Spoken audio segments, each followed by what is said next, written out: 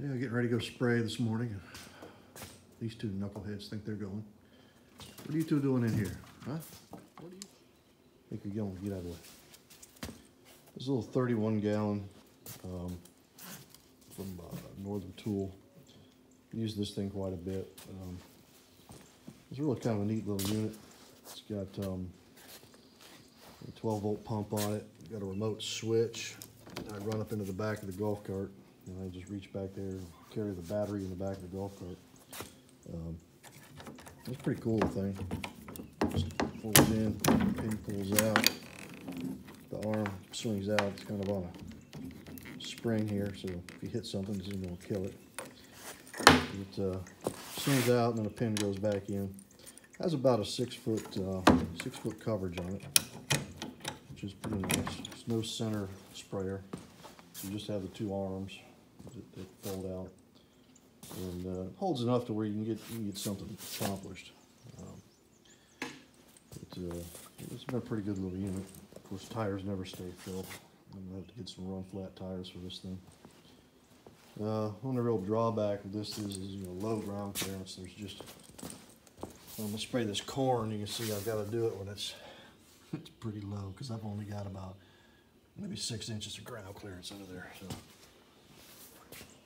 so I'm gonna thinking about if I keep doing this corn, maybe rigging up a three-point hitch and, and uh, mounting this thing to it, pull behind the tractor. Um, that way I won't have to buy anything new. But uh, this came with a, um, a little wand that you could walk around with and roll up on here. And, uh, the wand went there, but that thing leaked like a sieve, and uh, I couldn't keep it from leaking. I don't know if this thing pressure was too high for it or what, but I, I ended up taking the whole thing off just because it was a pain in the butt. And where I fill this up, I'm on uh, lawn, so I, when I'm doing glyphos glyphosate, and I don't want to have it dribbling down on the lawn because it'll kill everything. This uh, the amine 2,4-D doesn't really matter. It just it's made for the grass. I had more left over last year than I thought. But, uh, this stuff comes from uh, Tractor Supply. It was about $54 for two and a half gallons, and this will be more than enough. This stuff I used on the wheat last year, and uh, it, it, did a fantastic job. This is the only stuff I found that kills the um, uh, that sickle pod, which uh, the glyphosate does a little bit. It puts a hurting on it, kind of curls it up and makes it so it won't seed out, it won't develop a pod. But there's one of my spiders. This thing's all over my barn. These are vicious little things. They kill everything. I like having them around.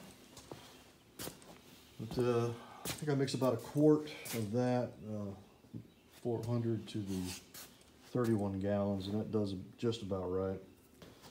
Uh, so I did a whole five acre field with uh, uh, probably about maybe two gallons last year. And uh, it came out really good. But it's a good little unit. Haven't had a whole lot of trouble with it. It is kind of kind of chintzy. I make sure that I rinse everything out real well. Run a lot of fresh water through this pump uh, when I'm done. Make sure I don't get any kind of crust or anything growing up in there. But uh, sun's coming up. I'm gonna get loaded up here and head on out to the field. I just walked down the little oak tree I got down here. Change the card out of that. Got a camera on that thing. I'll take a look at that. Get ready to spray the field. It's uh, it actually looks pretty good. This ground is really stiffened up. It's a good thing about this stuff is when it settles in, it settles in like concrete. I don't think this corn's gonna have any trouble um, staying up. But, uh, came up here looking through this little wheat field. I hadn't really looked at this. It's got an immense amount of, uh, I'm sorry, these are the oats. Immense amount of oats in here. Really has done well. It's got this, uh, whatever kind of this is here, this stuff is good five feet tall. It's a beautiful wheat head on it. If I focus on not. But, uh, really, really healthy little field. I'm just gonna let this go to seed and I'll come in and disc this up We're gonna have this in uh, soybeans here before too long. Uh, so this is kind of the setup I got here. The uh, two batteries in the back of the golf cart. It's got a little switch here on and off. And uh, tank is really good and clean. Hosed that out pretty well. So what I'm gonna do is do uh, half a gallon to this 32 gallons. Seems to be about what, uh, what works the best. I've got about a gallon in here. I'm gonna pour about half of that in here, and we'll take it up to the house and top it off, and uh, get these arms swung out. Do a couple test runs to see how this thing is tracking. Make sure I don't run over all my corn while I'm doing this. But, uh, we're all loaded up, ready to go. Hooked up. Got about 30 gallons in here. Give you an idea of the spread on this. Not sure how well you can see this. This thing sprays out pretty good. It's no joke. It puts down a lot of liquid in a short amount of time. Kind of paste this off. Probably go to one, two, three, four, five. So it's probably doing about 15 feet of coverage behind that sprayer, which is uh, that's a pretty good amount. You can cover some some ground with that. So if you've got a big field, this thing is thing's been a lifesaver for me. Uh, it's worked out really well. Used it with uh, glyphosate and the amine 2,4-D. And, uh, it's doing a good job. So I think we've warmed up enough now. Looks like the sickle pod might be opening up a little bit here. Starting to open up its little leaves, get ready for the butt whooping it's about to receive. Uh, get going on this for my battery died. It's pretty good, except these little spare tires are tracking just inside of my, my tire tracks. So that's good. That makes it a little easier.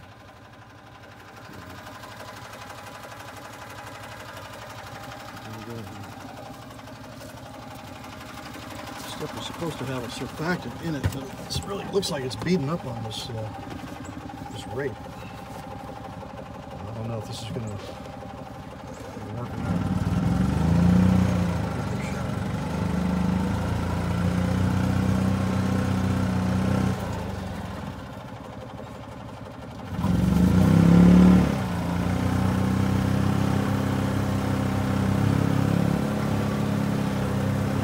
Try to keep it centered.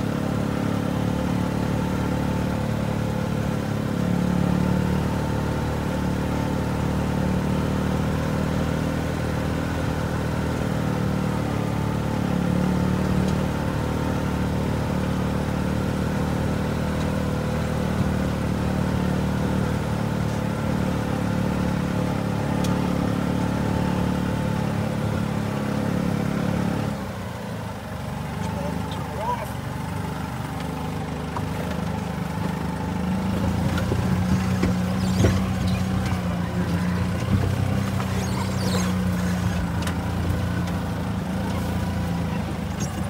So what's nice about this cart, it's a tight turn at the very least. Over here.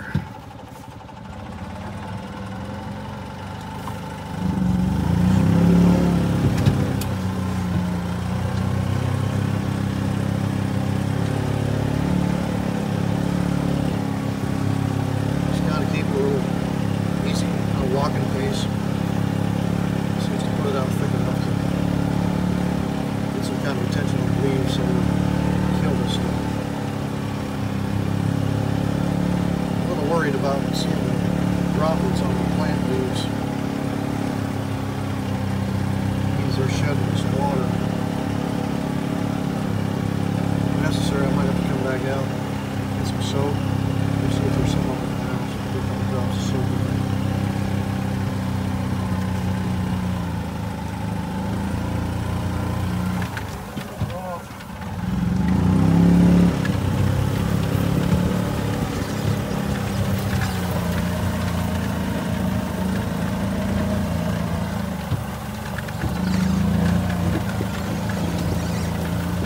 This is where up with that row spacing, really, this is where it makes a difference.